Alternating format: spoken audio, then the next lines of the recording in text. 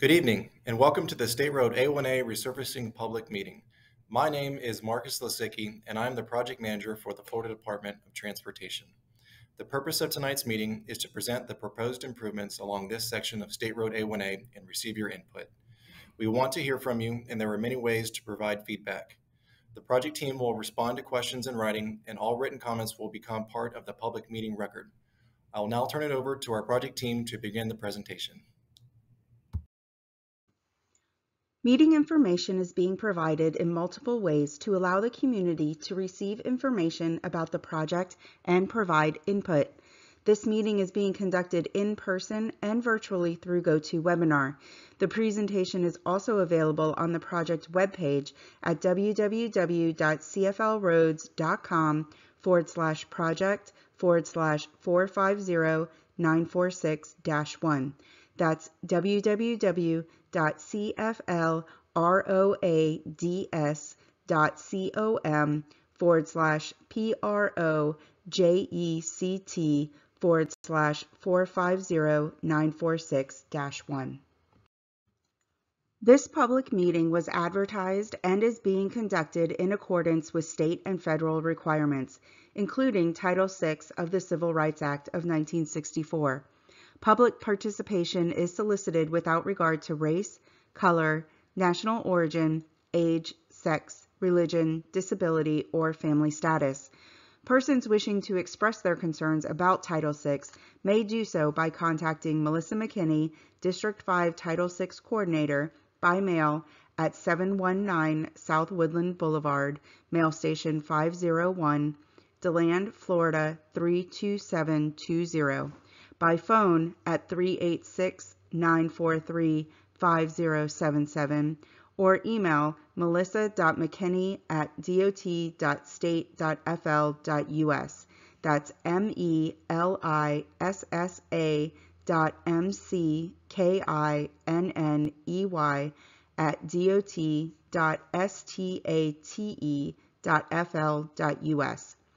You may also contact Stefan Kulakowski, State Title VI Coordinator, by mail at 605 Suwannee Street, Mail Station 65, Tallahassee, Florida 32399-0450, by phone at 850-414-4742, or email at stefan.kulakowski at dot.state.fl.us. That's S-T-E-F-A-N dot K-U-L-A-K-O-W-S-K-I at dot dot S T A T E F L dot U S. This information is shown on a sign at the in-person location, on the project website, and in the meeting notifications. The purpose of tonight's meeting is to explain the project goals, present the department's recommended improvements to help achieve those goals, and hear from the community about the proposed changes.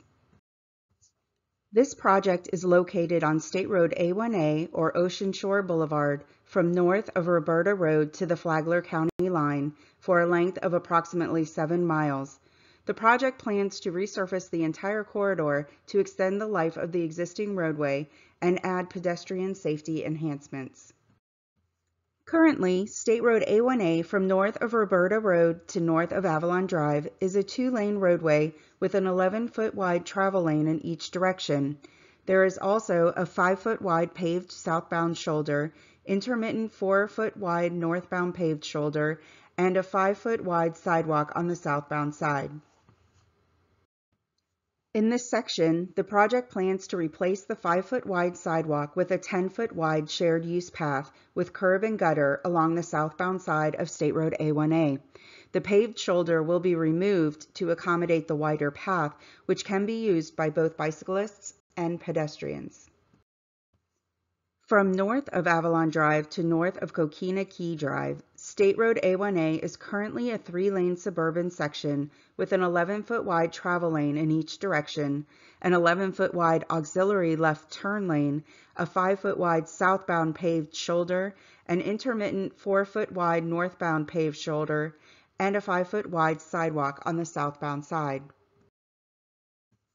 The project plans to remove the southbound 5-foot wide paved shoulder and 5-foot wide sidewalk to accommodate a 10-foot wide shared use path with curb and gutter on the southbound side of State Road A1A. The final section of the corridor from north of Coquina Key Drive to the Flagler County line includes two 11-foot wide travel lanes in each direction, a 5-foot wide southbound paved shoulder, the intermittent 4-foot wide northbound paved shoulder, and an 8-foot wide concrete shared use path. The roadway will be repaved in this corridor. No other changes to the roadway configuration are planned. Pedestrian safety is a significant element of this project. There are currently 12 locations where new pedestrian crosswalks are planned.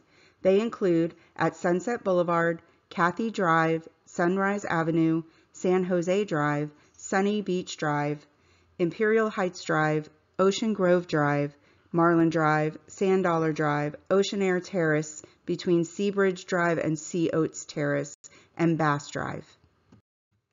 Two other pedestrian crosswalks will be located at Michael Crotty Bicentennial Park and Seabreeze Drive. These crosswalks will include rectangular rapid flashing beacons, or RRFBs. These RRFBs are flashing lights that are pedestrian activated and give more visibility at marked crosswalks to alert drivers to pedestrians. The two rapid flashing yellow lights are mounted below a yellow pedestrian crossing sign. They remain dark until activated by a pedestrian wishing to cross. These RRFBs are flashing lights that are pedestrian activated and give more visibility at marked crosswalks to alert drivers to pedestrians. The two rapid flashing yellow lights are mounted below a yellow pedestrian crossing sign. They remain dark until activated by a pedestrian wishing to cross. When pedestrians come to the intersection, they push the button to activate the beacon. You can find the button on the pedestrian crossing sign under the Look Push Button for Warning Lights sign. The lights located above will begin flashing to alert motorists of the pedestrian's intent to cross the street. Florida law requires drivers to stop at any crossing when pedestrians are visible. Stop when flashing lights are activated. Once the pedestrian crosses and is no longer in the travel lane, proceed on with caution. For more information about RRFBs and other safety strategies, please visit alerttodayflorida.com. Median islands are also proposed at Imperial Heights Drive and Sand Dollar Drive. These medians will not block any side streets. Drivers on Imperial Heights Drive and Sand Dollar Drive will still be able to make a left turn onto State Road A1A.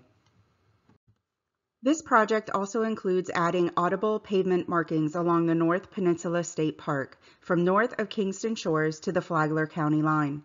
The markings, similar to what is shown here, will be placed on the outside edge of the travel lane and in the center of the roadway where there are double yellow stripes to help alert drivers if the vehicle goes outside of the lane. Other improvements include lowering the speed limit from 40 miles per hour to 35 miles per hour from north of Roberta Road to north of Silk Oaks Drive and from 45 miles per hour to 40 miles per hour from north of Silk Oaks Drive to north of Coquina Key Drive. Speed feedback signs will be added to help encourage safer speeds along the corridor. Drainage, signing, and pavement marking improvements are planned. Also, lighting enhancements, which will include special wildlife-sensitive lighting for the sea turtles. Design for this project is underway and is anticipated to be complete in summer 2025 at an estimated cost of $2.7 million. All work will be done within the existing right-of-way. Construction is anticipated to begin in fall 2025 at an estimated cost of $15.9 million. We encourage your input and feedback about this project, and there are multiple ways for you to participate. All public comments and questions are part of the public meeting record, and every method for providing public comments and questions carries equal weight. While comments and questions will be accepted at any time, those submitted by March 25th, 11 days after the public meeting, will become part of the project's public meeting record. All written comments and questions will be responded to in writing. In-person attendees are encouraged to speak with project team members to ask questions and provide input. To submit a comment for the public meeting record, please complete a printed comment form and return it to project staff. Written comments may also be submitted on the project website at www.cflroads.com forward slash project forward slash 450946-1. You may also contact FDOT Project Manager Marcus Lisicki directly by email at marcus.lisicki at dot.state.fl.us. That's M-A-R-C-U-S dot L-I-S-I-C-K-I at dot.state.fl.us or by U.S. mail at the Florida Department of Transportation, 719 South Woodland Boulevard, Mail Station 542, DeLand, Florida 32720. You may also call Mr. Lisicki at 386 943 5542 to provide verbal comments during normal business hours. The contact information is also available on the public meeting notification that you may have received by mail. To learn more about these projects, go to www.cflroads.com. Type the project number 450946-1 in the search box at the top right and click Go. Then click on the project name. Public meeting materials are posted on the website now.